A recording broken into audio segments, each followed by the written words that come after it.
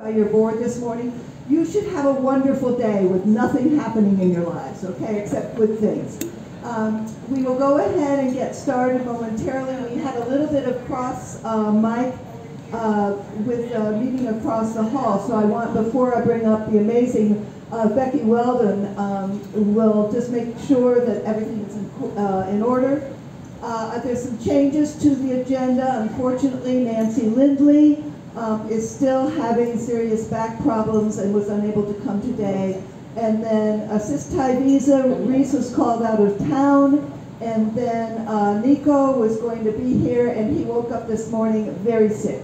So um, we have been doing some interesting juggling here.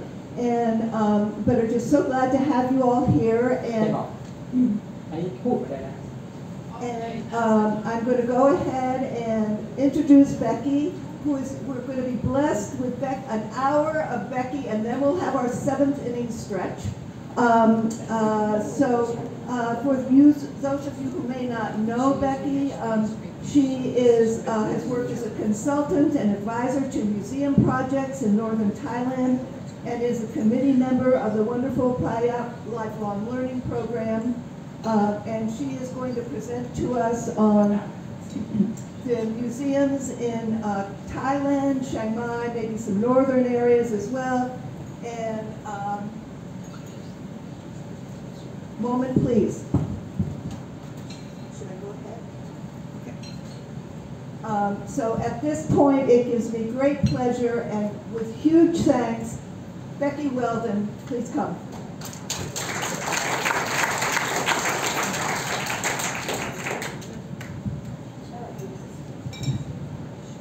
Okay.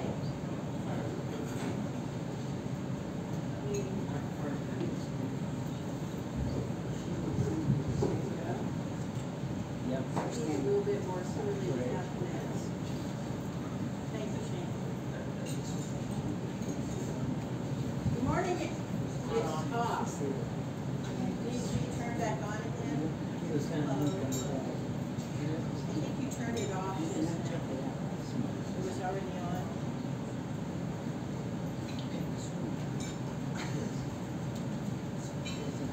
Okay, maybe lucky number three. Smile. Hello? Okay, now it's working. Now it's working. Uh, hello everyone, Sawadee ka. Uh, Sawadee Chow. Everyone, welcome to our meeting today. It's been uh, an honor for me to have the opportunity to share with you a little bit of the work that I do and uh, talk a bit about museums. Uh, we had originally started thinking I would only talk a certain amount of time, and it's gotten expanded a bit. So I may go on a little bit, but um, we'll also have a time for discussion afterwards. And if you have questions as you watch the presentation, uh, I'll be very happy to offer you the opportunity to ask the questions, and I may possibly be able to help answer. So uh, the presentation today will be about uh, starting with museums in Chiang Mai. I'll talk a little bit about some others as well. And um, you'll see at this uh, uh, beginning slide here at the top there, do you know what that logo stands for? No. No. That is the provincial logo of Chiang Mai. And you see the elephant there, of course. And uh, so elephants are at the center of our culture.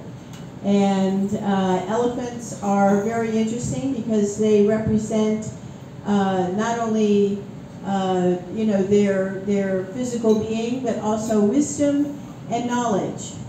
Uh, they're considered extremely educated animals, so uh, they will be helping us think about museums.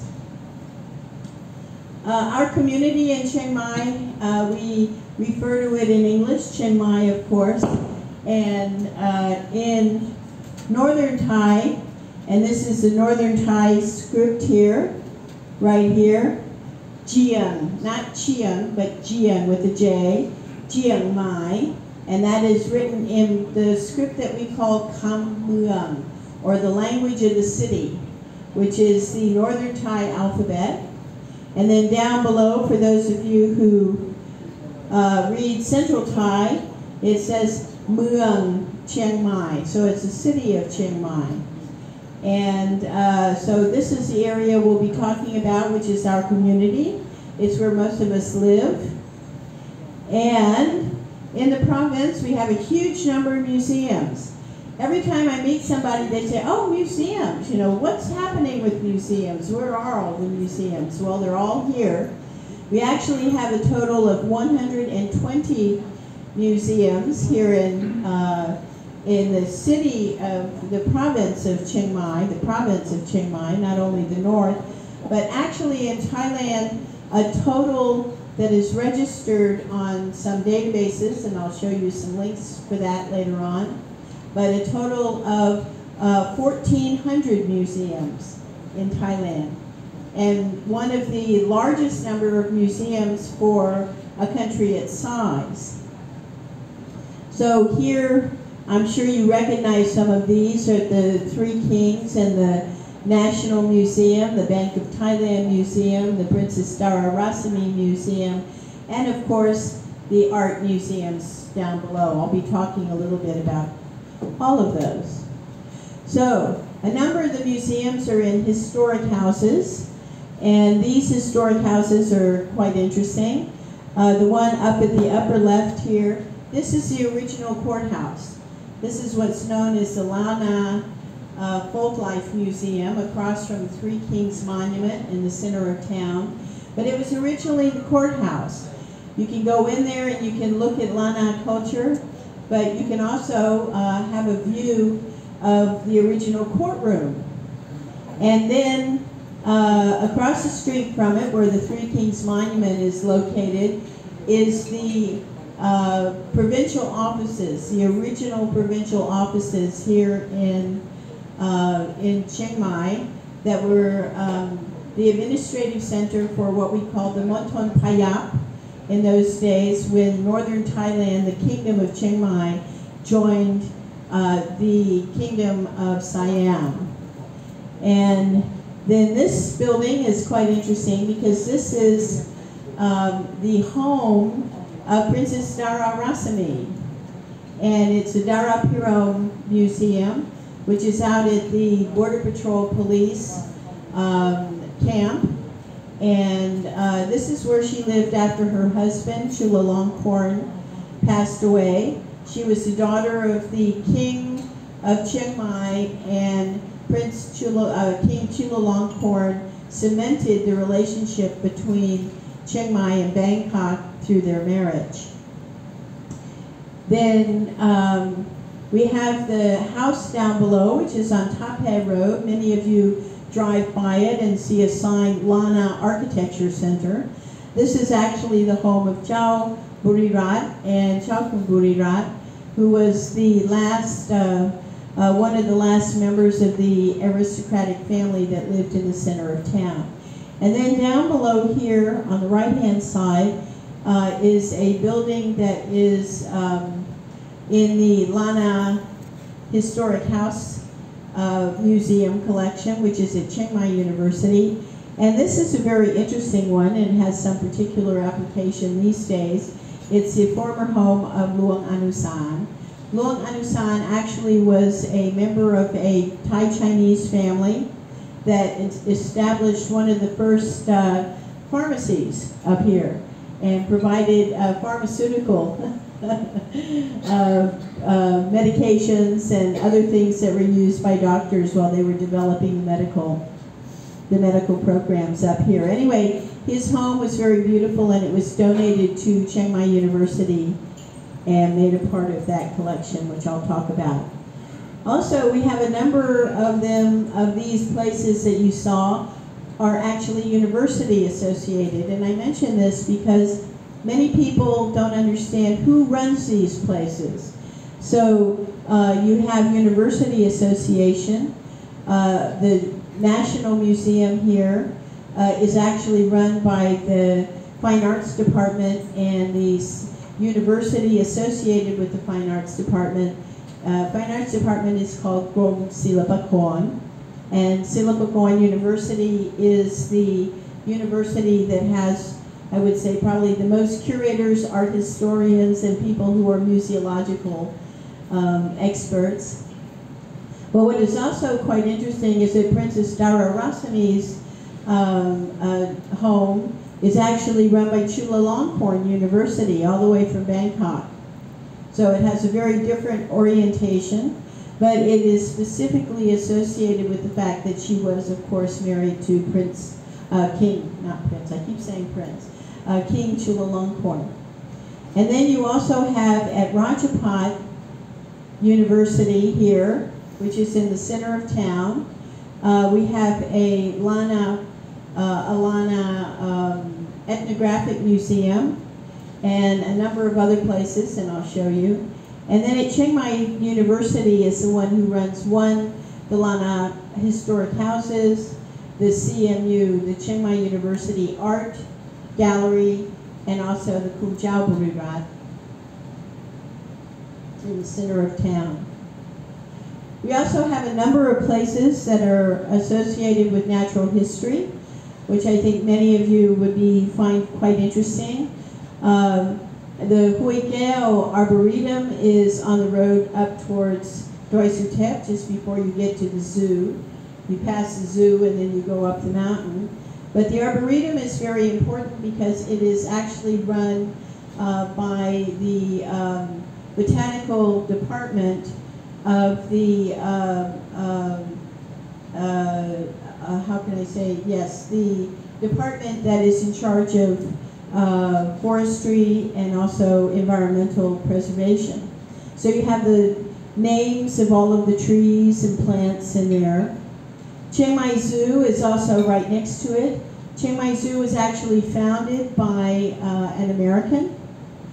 Uh, yes, Harold Young. He was a missionary who lived here, and the collection of the animals was first put together uh, for teaching actually teaching people who had to work out in the countryside how to develop their relationship with wild animals. So it was quite interesting.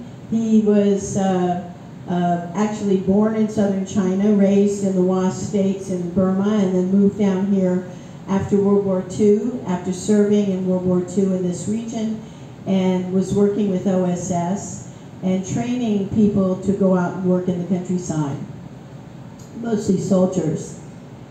And then the Queen Sirikit Botanic Garden, which is up in the Mae Rim area, uh, is also uh, a beautiful place.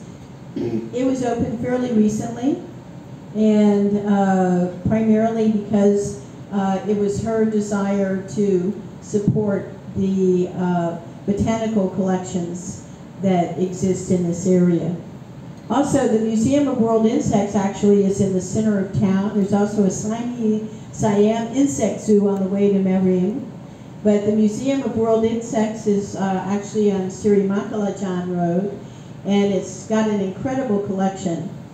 Uh, moving onward, many archaeological sites, and archaeological sites, of course, uh, are uh, historically oriented, and many of them also have uh, museums that are associated with them. I will come back to this.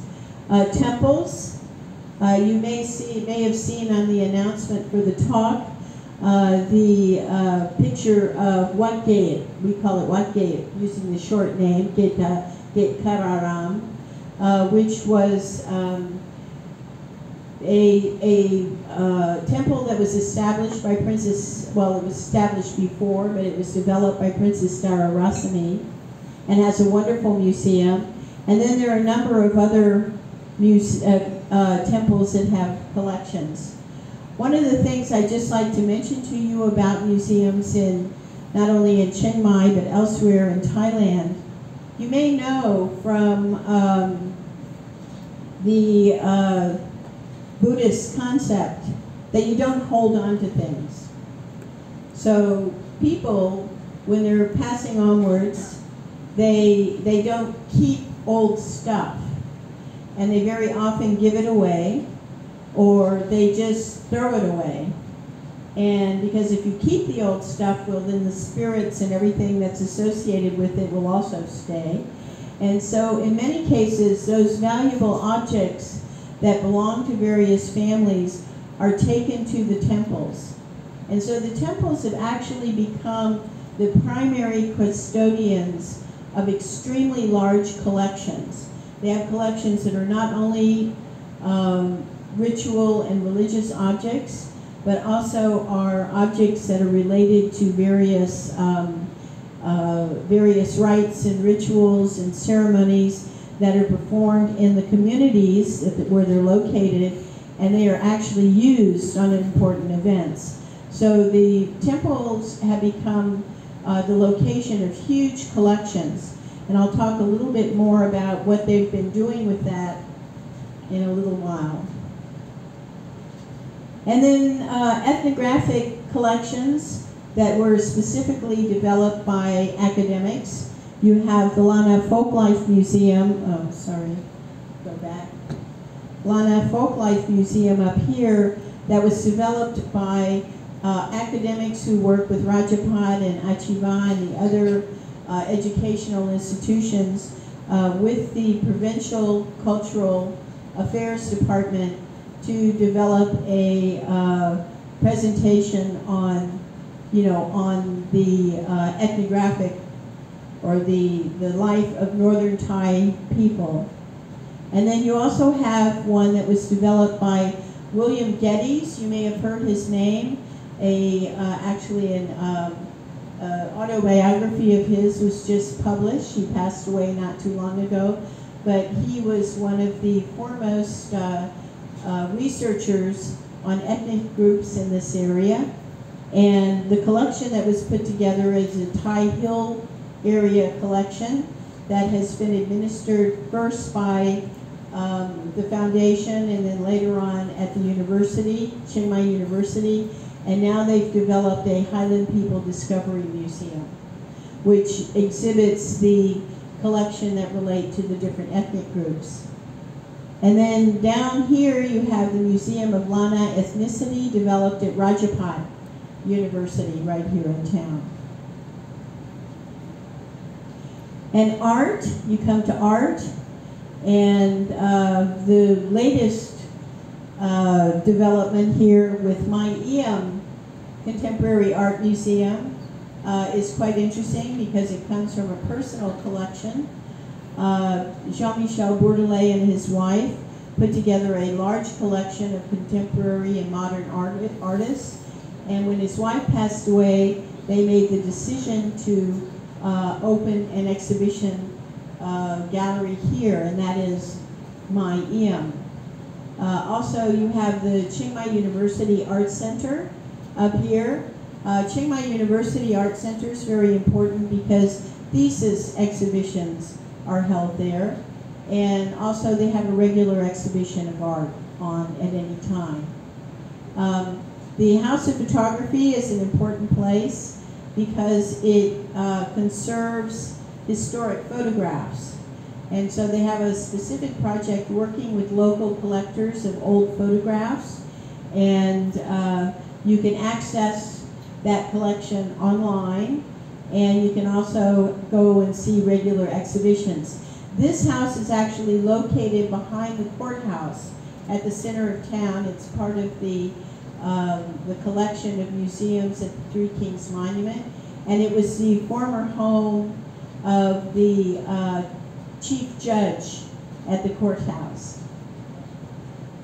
And then just to, it's a gallery, it's not a museum per se, but it has a wonderful collection. Uh, Kumwatana taught art here, studied overseas, taught art at Chiang Mai University, and has a wonderful art gallery.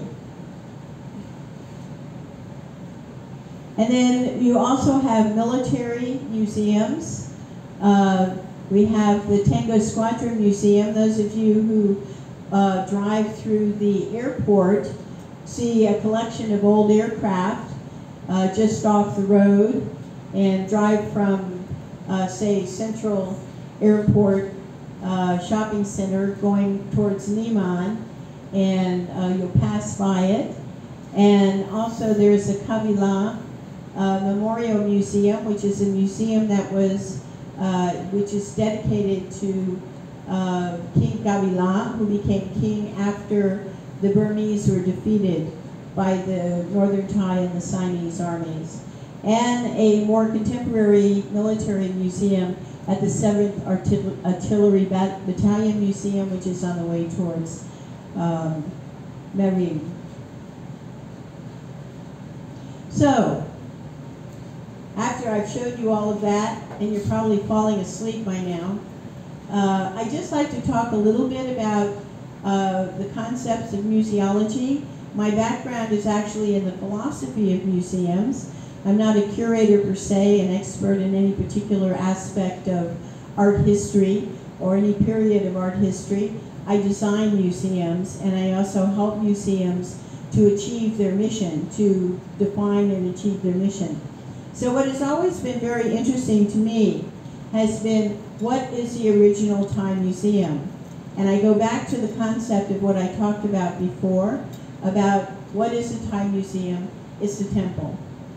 And it's where all the old stuff gets taken.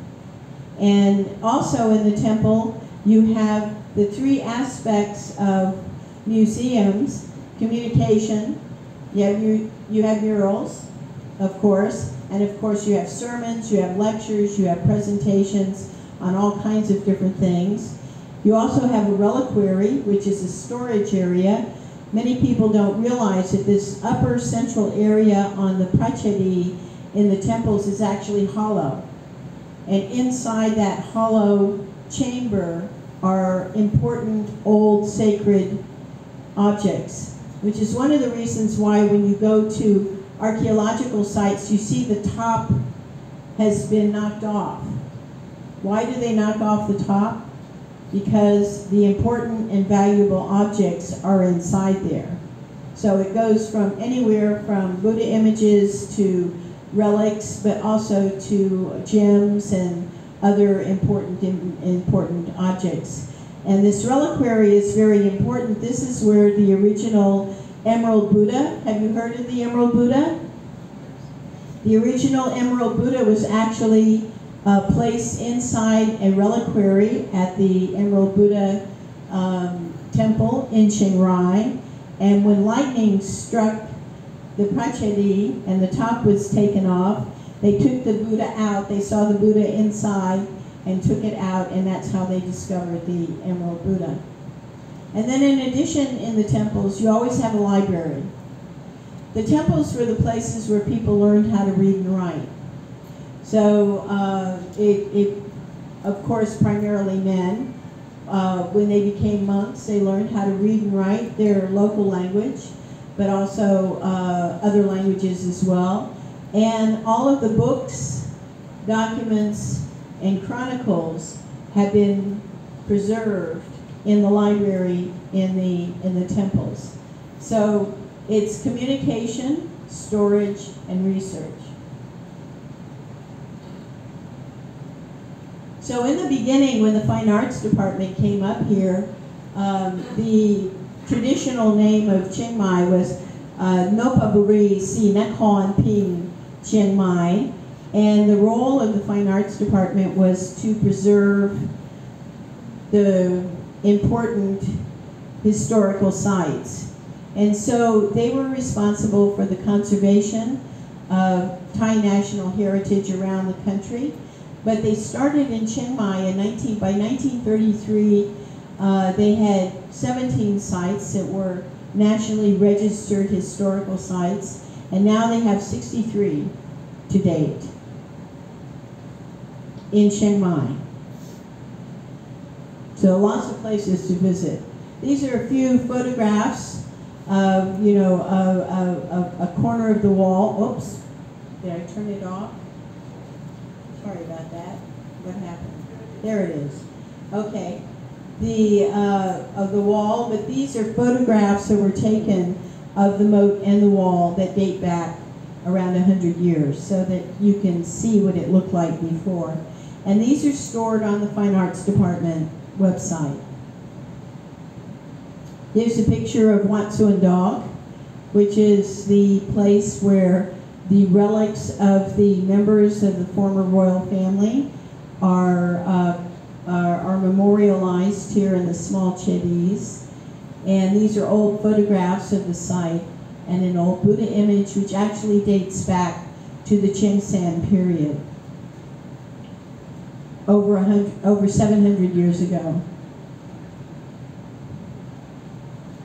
This is Wat Jet Yawd, another historic site. You can also find information. They do have a little uh, museum there and an exhibition.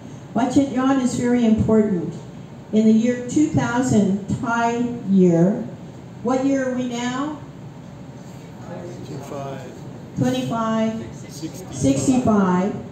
So 565 years ago, the 2000th anniversary of the Buddha, when he entered his enlightenment, was celebrated by all of Asia in Chiang Mai. Yes, they came from all over Asia, from India, Nepal, China, Tibet, Korea, Japan, everywhere. All of the Buddhist countries sent representatives to Chiang Mai 565 years ago. And this temple was built specifically for that conference. Not only that, the people who uh, did the uh, re- reliefs along around the around the Pracheti were sent to India to study specific ways of uh, uh, specific ways of doing these types of relief, which have now become an aspect of uh, Northern Thai architectural and art uh, style. And of course, we have Wat Phra That Doi Suthep, which is the mountain that overlooks us.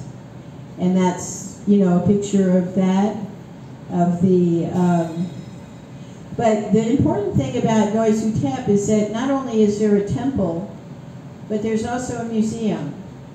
It's a very important museum at the temple. They're mostly related to Buddha images, but also religious objects. And this is a picture of it. But the national park is considered by Thai people as being a natural museum of Doi Suthep. So the uh, the the um, uh, forestry department also has an office there, which has an exhibition on the background of the national park. So it's part of natural history museums.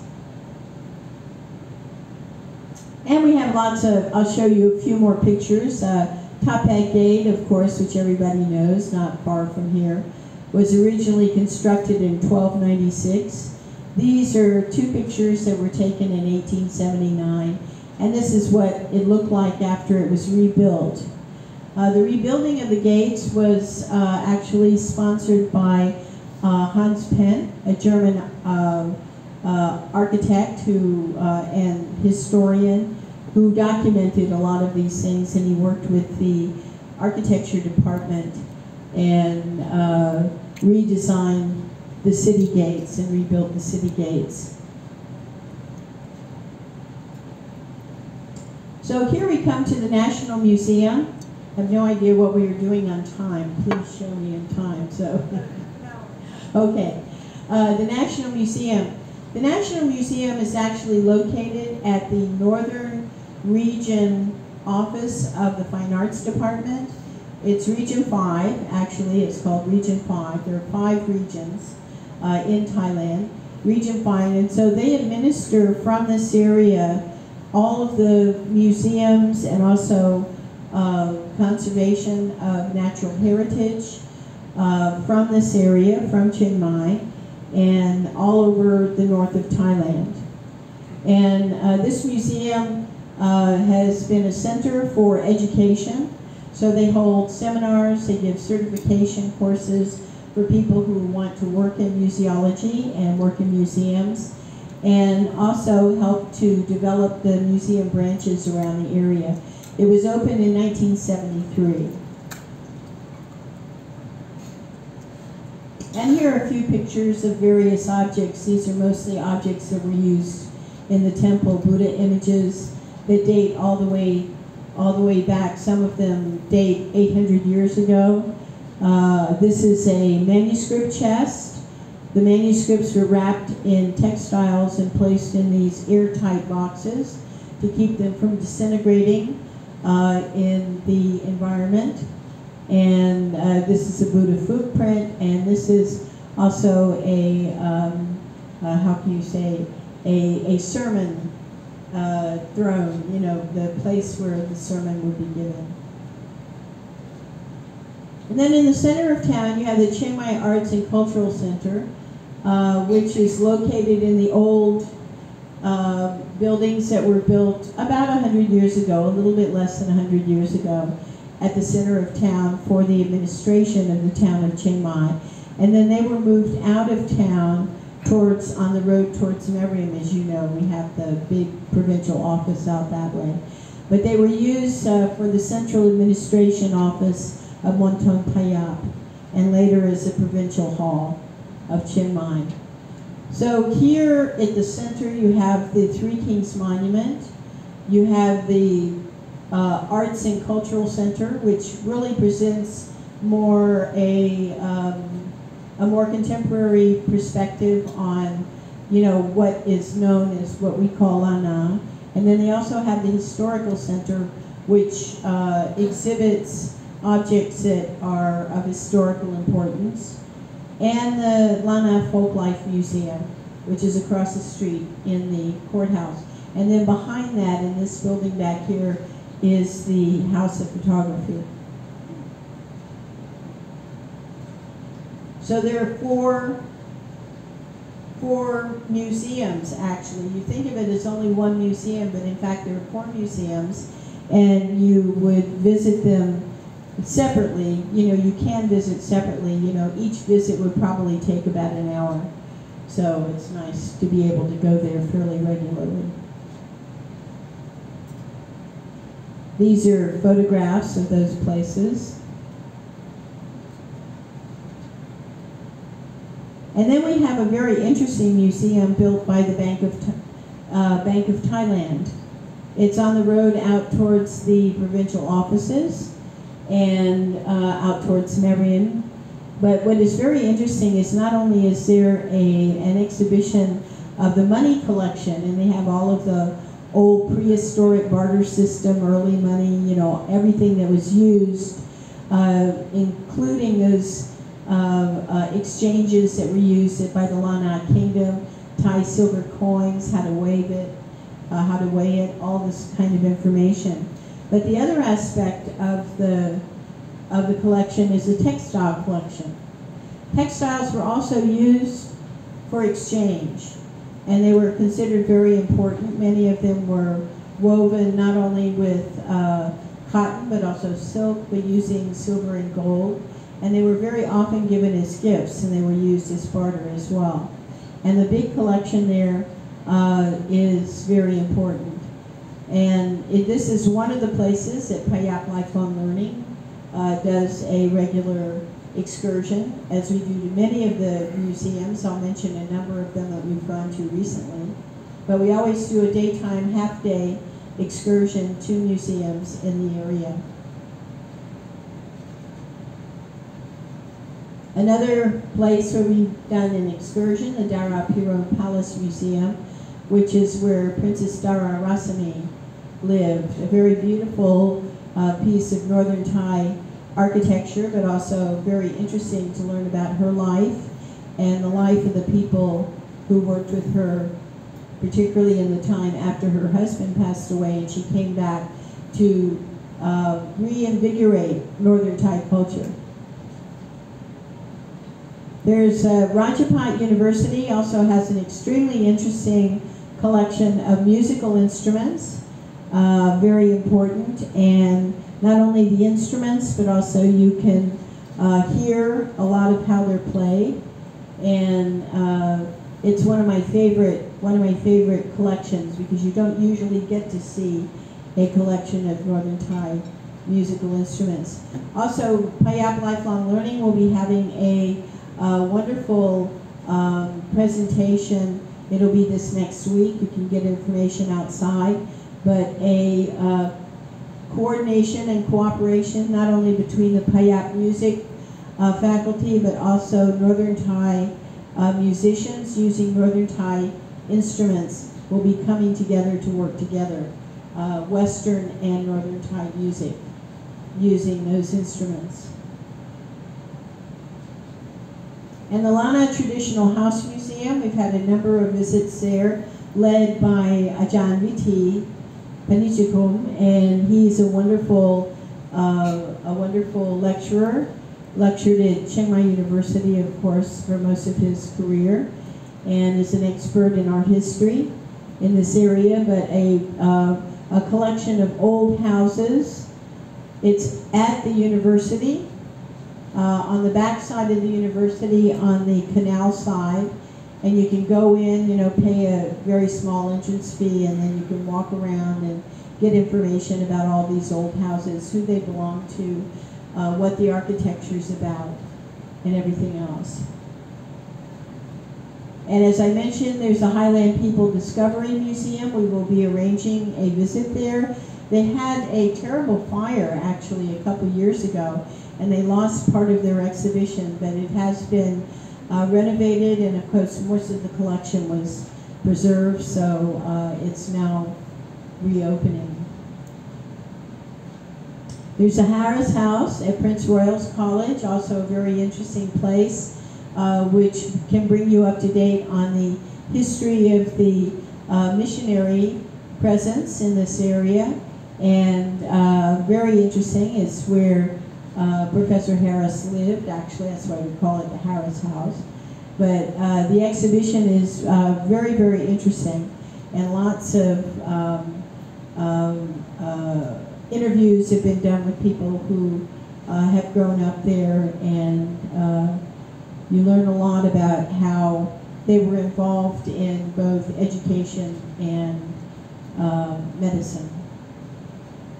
Wake is one of the uh, regular offerings that we have from uh, Payap Lifelong Learning. Wake uh, has an incredible collection. The museum has been mostly closed during this pandemic, as have been most of the museums. But it's in an old house which is at the side of the main Vihan. And inside is this collection that has been uh, preserved there by the community all the Thai temples have what they call a, uh, a, a council, a temple council, and it is a temple council that has preserved and um, documented the objects that you see at Wat Ket. So there's very uh, interesting information about where these objects came from, who used them, uh, how they were used in the community as well. And the Tango Squadron Wing uh, Air Museum is very interesting. It's a collection of aircraft used in this area. It's actually put together by a foundation, a Thai American foundation, and um, I also have helped as an advisor uh, on that one. And it's uh, preparing to open its exhibitions, but it also includes exhibitions of the remains various excavations of uh, aircraft that were shot down in World War II, but also the whole history of that period of time. It's very interesting because it's actually brought together not only the Americans and the Allies, you know, the British and other, but also the Chinese, the Japanese, and have all come together to help with the documentation. So you have um, objects, uh, aircraft that come from all these different countries and that we use in the entire area. So finally, just to sort of sum up, and then I'll be happy to offer some time for questions. There are two very important databases on museums in uh, Thailand, and they're separated uh, not only by uh, region, but also by province. And um, the one at the top is related to the Sirindhorn Anthropology Center, which is in Thonburi in Bangkok. And they are the National Center for Anthropological Research in Thailand and hold regular courses. And uh, people from all over the country uh, come together, uh, come together. And so their database is here, and I presume that we will be making that available to you so that you can click on it. It does, when the database is open, I'd like to say one thing. They usually come up in Thai. But if you look at the upper right hand of the, of the web page, it does, you can choose language. And you can choose the English if you don't read Thai. Or uh, you can choose Japanese, you can choose Chinese, you can choose other languages that you might like to read or to practice. So the museum database in here, this is where most of the museums uh, that I was talking about, when I said 1,400 museums in Thailand, this is where most of them are. So in most cases, you click on a region and then you click on a province and then in the province it will give you the list of museums and you can click onto those museums. It will tell you where it's located, how to contact them, and you generally have a map. And sometimes have a little gallery of what's in there. Museum Thailand is uh, actually run by uh, the Department of Cultural Affairs, you know, in the Ministry of Culture, and it's related to uh, the, uh, the the government. It's also an excellent, excellent museum database, and this is uh, something else. It has a little bit more information on the various museums, perhaps not the entire choice of museums, but it includes most of the important ones, and the presentation is, is quite good. So I use both of these, and um, this is where you can find out the information for the museums in Chiang Mai, Chiang Rai, Nan, Payao, Lampang, any place you might want to go here, or if you go down to Bangkok or go down south or anywhere else, you can find all the museum information. So I'd like to thank you very much for putting up with me in this long talk here.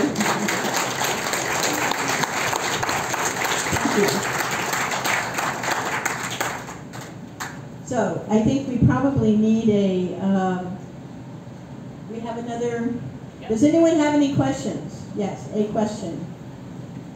Or questions?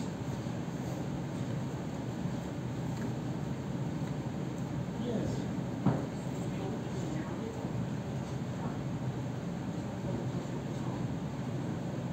Well, I was particularly interested in the Bank of Thailand Museum, but when I look at their website, I see that it's uh, um, uh, uh, only open to groups, and the group has to give them uh, a week's notice.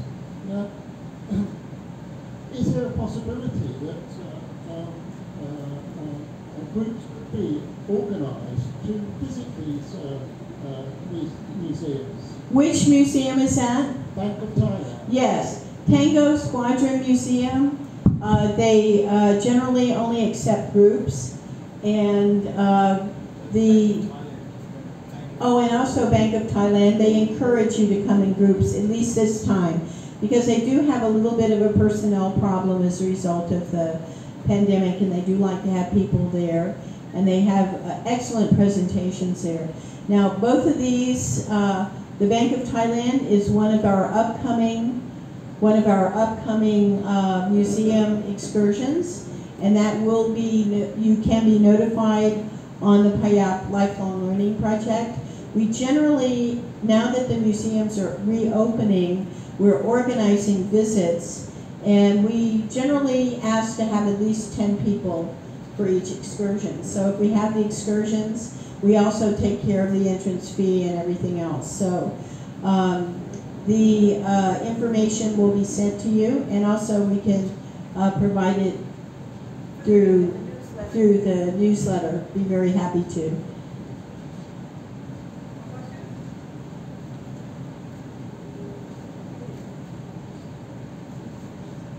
Thank you, Becky. That was terrific.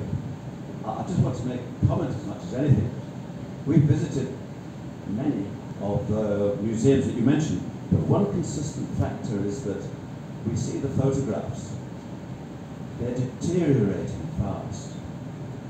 I don't know if there are a background of negatives or glass plates anywhere, but I see that history disappearing in front of me every time we go. The worst is Wat Ket Karam.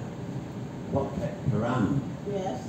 that, the photographs in there are a shadow of their people. Now, I know that the Fine Arts Department takes a, an interest, but I wonder what it actually does. And does the Bureau of Buddhism have any interest in this? Otherwise, we're losing history. Yes, that's a very good point. Uh, many of these places that have large collections, particularly the temples, um, have need of two, actually three different things, which we're working on right now from a museological perspective. One, for temple museum management, uh, a new program has now been developed through the Buddhist University to provide formation for monks and temple council members, people who are part of the community, to help with the uh, museums. So that is being developed as a foundation for preserving museum collections because they're very important here in Thailand. The other thing is that um, the um, finances of upkeeping a museum is very difficult. And one of the things that, there are two things that the government has done. If a museum is in a place that is uh, registered as a national monument, a national place, it does receive a regular subsidy. But the other problem is that if it's not, uh, they have to raise money in the community to look after the collection. Uh, there are two things that are done. One, the government is now subsidizing student visits to the museums. So museums are actually making money by developing programs to work with students all the way from Patom Siksa, from elementary level, all the way through university. So two visits per, per museums per school are actually funded by the government and a, a certain percentage is given to the museum to help prepare for the presentation as well. So they receive uh, support for that. Uh, the other thing is that people are also always commenting, well, why are the foreigners charged more? You know, why don't we, you know, just go in? Well, one of the reasons is has to do with the um, uh, the funding that they get both from the community, from the province, and from the national uh, uh, the national administration that comes from their taxes. So the, the you know the, the government does help to provide some provide some funding, and they want to promote the visits by local people because they're the largest group of people. The other thing is that so few foreigners go into museums when they come as tourists because tour companies don't want to pay the extra 100 baht to go into the museum. They don't mind paying 500 baht for a meal. They don't mind paying 3,000 baht for a room. They don't mind selling natural uh, history and, and cultural history to make their profit, but they don't want to pay to go into museums. So very few foreigners actually go into the museums, and when they go in, of course, they're paying a different rate. They don't pay the taxes here, you know, they're visitors. This is not only the case in Thailand, it's very often the case in other countries. Thailand is criticized a lot for it, but actually you see in many cases the same thing is, um, is in Europe. If you don't have free entrance to a museum, generally local people can get a card that allows them to come at a lower rate and then visitors have to pay a higher entrance fee. So, you know, that's not unusual around the world. But the support is very important because when you go in and you pay that entrance fee, it goes directly to the museum and it is used to help preserve the exhibitions and to maintain them, at least to as much as they can. I have a question, Becky. Um, when you talk about the stupa, um, where they're like finding the, the um, uh, Emerald Buddha, is it solid all the way up to the top where it's open? And do, so they decide, when do they decide to put the preserves in, in the top of the, of the, of the building? Okay, to speak about the Pracheti, let's see if I can go back to it.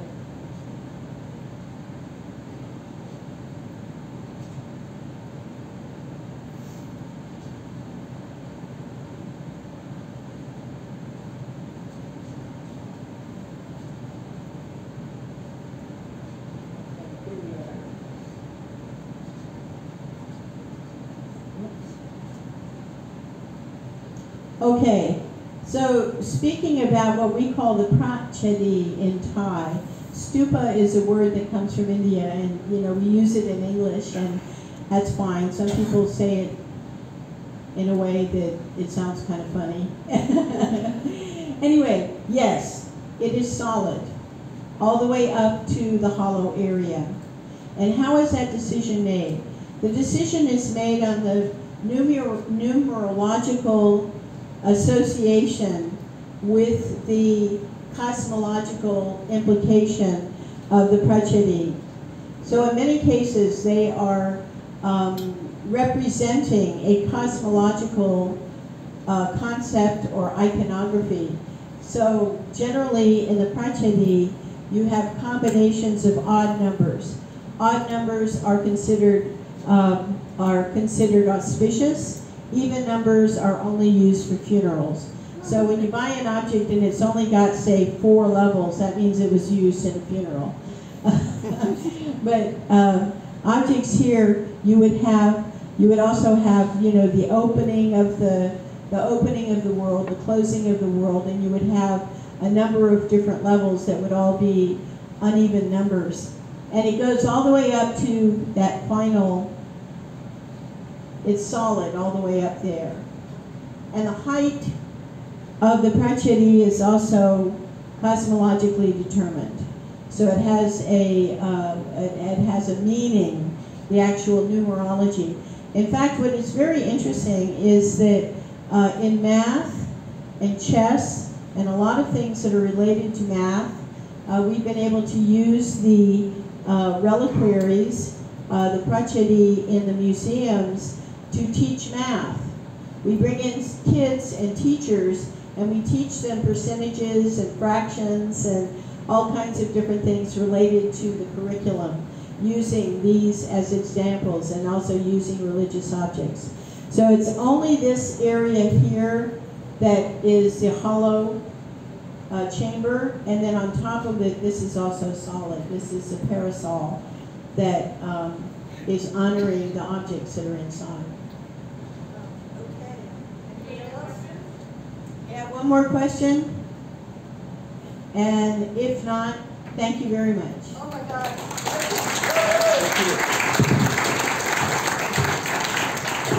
Uh, just a final word to say is that we will be very happy to let you know about our excursions to museums.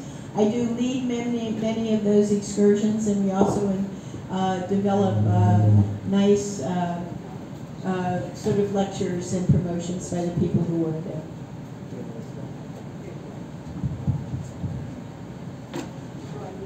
Thank you so much. Okay, everybody, um, I think, we, I've heard that it would be nice to maybe stand up. So those of you who are uh, of the US and baseball, we are about to have a few minutes of a seventh inning stretch, okay? So get up and move around, uh, talk to friends or whatever, take a quick trip to the toilet if you need to.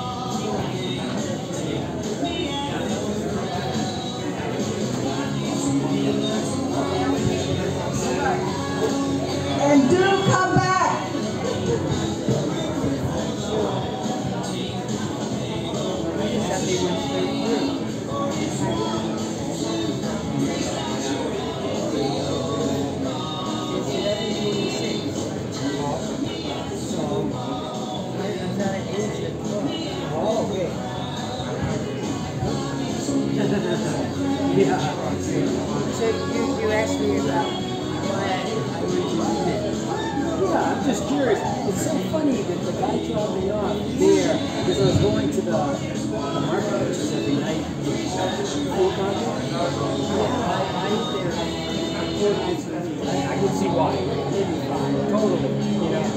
Have like the ones you go to right?